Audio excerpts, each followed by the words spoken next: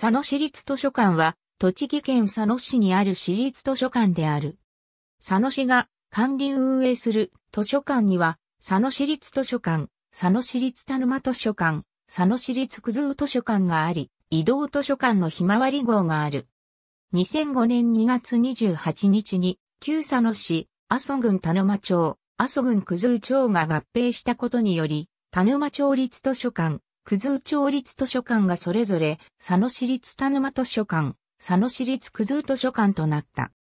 1943年4月1日の佐野市合併以前の図書館には、1916年1月12日に犬伏町で犬伏町立図書館の利を制定し犬伏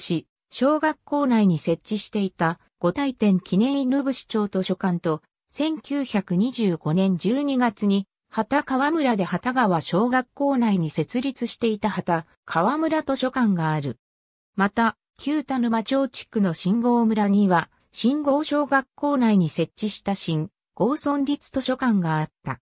佐野市立図書館入口図書館の入館や利用は誰でも可能であるが、考え貸し出しには利用者登録が必要で、佐野市内に在住、通勤、通学者、または両毛広域都市圏内在住者が利用者登録をすることで図書の貸し出しができるようになる。自動車75台、自転車150台の駐車スペースあり。ありがとうございます。